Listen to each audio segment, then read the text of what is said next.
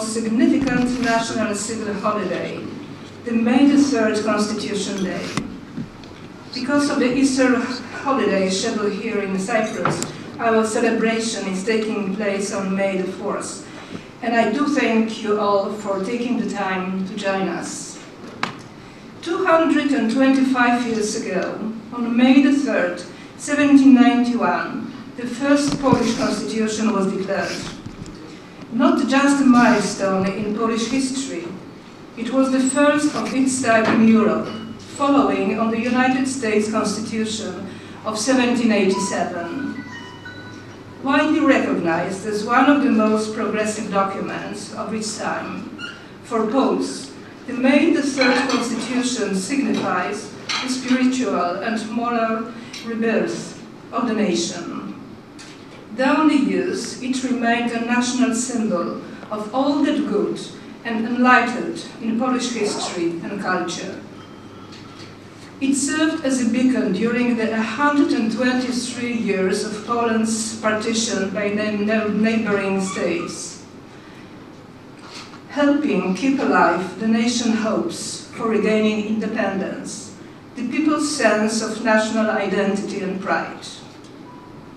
With independence restored in 1918, May the 3rd was declared the nation's primary public holiday, only to be suspended during the post-war years of the People's Republic of Poland. It was re-established after the fall of communism.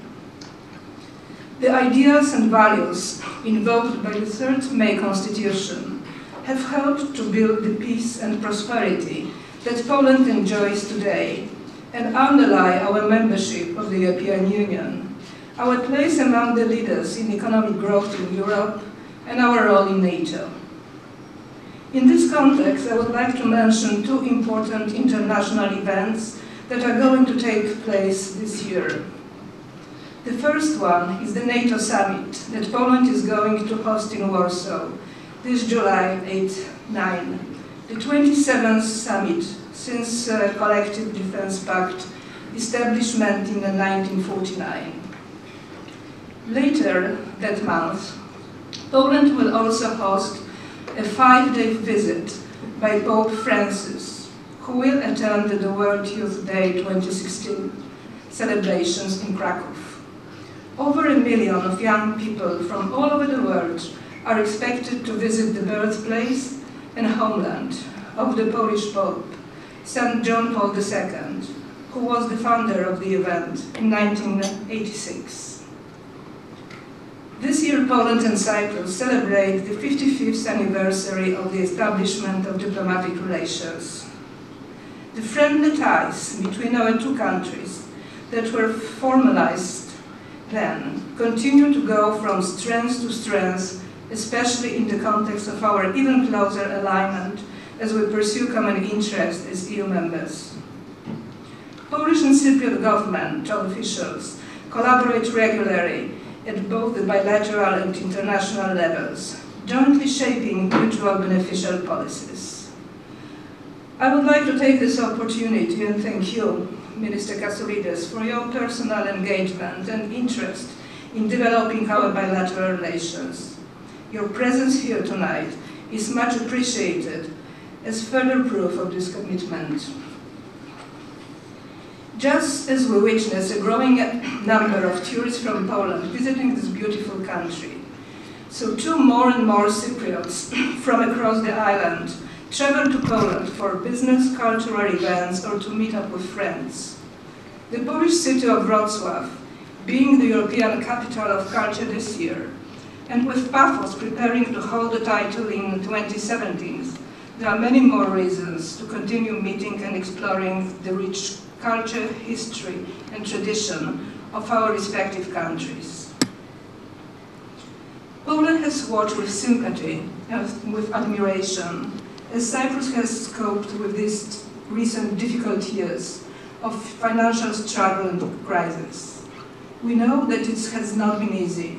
We welcome the news of your exit from the bailout program. We applaud and congratulate you on this hard-won success.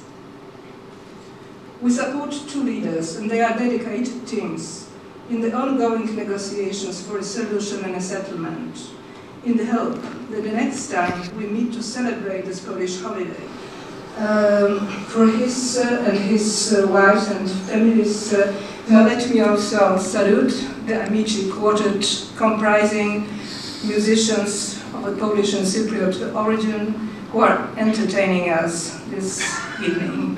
Once again, thank you very much for being uh, with us tonight and Minister, the floor is yours.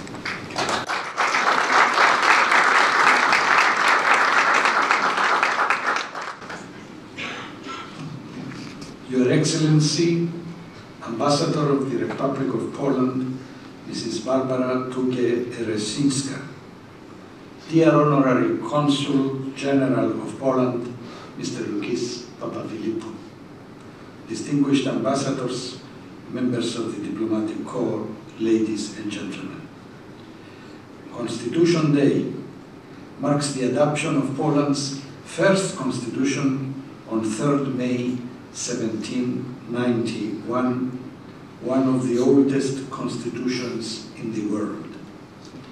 The fact that the Polish people were among the first to adopt a constitution embodying Jean-Jacques Rousseau's ideas is an attestation of a nation which earlier on not only endorsed the ideals of democracy, freedom and human rights, but also inscribed them in a legally binding text.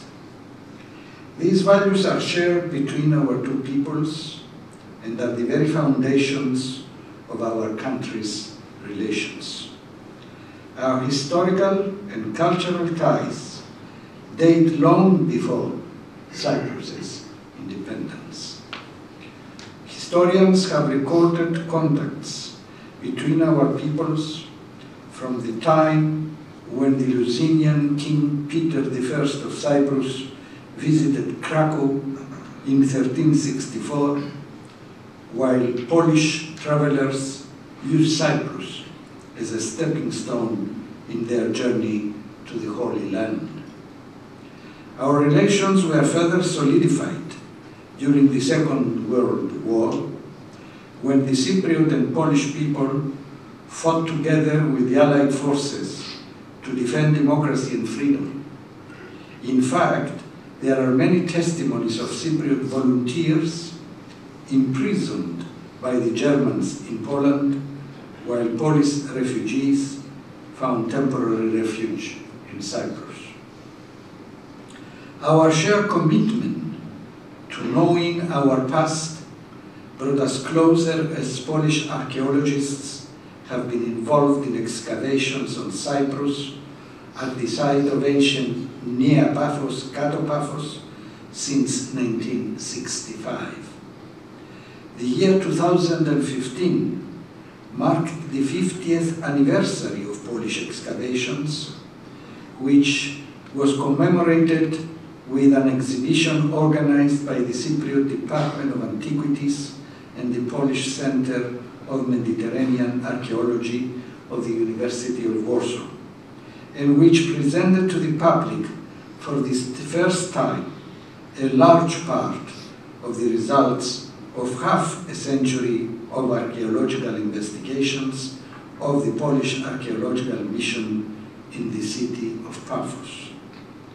Our bonds have been further enriched through our people-to-people -people contacts Thousands of Cypriot students have studied in Poland, while the ever-growing Polish community and hundreds of active Polish businesses in Cyprus contribute not only to the Cypriot economy, but also to the strengthening of our cultural and economic ties. Furthermore, our traditionally friendly relations have been enhanced through our accession to the European Union in 2004, while our cooperation was further broadened through our joint trio presidency of the EU Council in 2011-2012. Last but not least, it is important to express our appreciation for Poland's principled support to the efforts to find a just and viable settlement to the Cyprus problem, which will end the Turkish occupation and reunify our island. Dear friends, our historical relations and our common European culture, cultural heritage are solid foundations for further strengthening our cooperation in the future, particularly in the face of great global challenges which require our joint response. Before closing, allow me to congratulate and extend my best wishes to the government and the people of the Republic of Poland, and to personally thank you, Ambassador Barbara Tuge-Erecińska, as well as Mr. Lukis Papaphilippou, the Honorary Consul General of Poland, for your hard work towards the enhancement of the cooperation between our two countries.